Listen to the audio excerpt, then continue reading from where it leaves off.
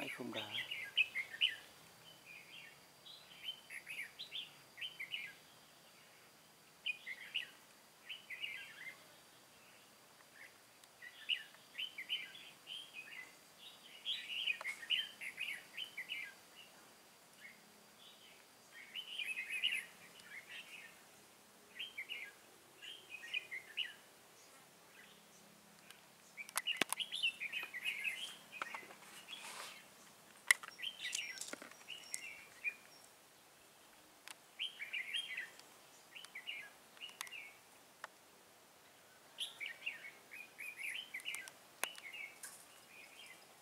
chết nhá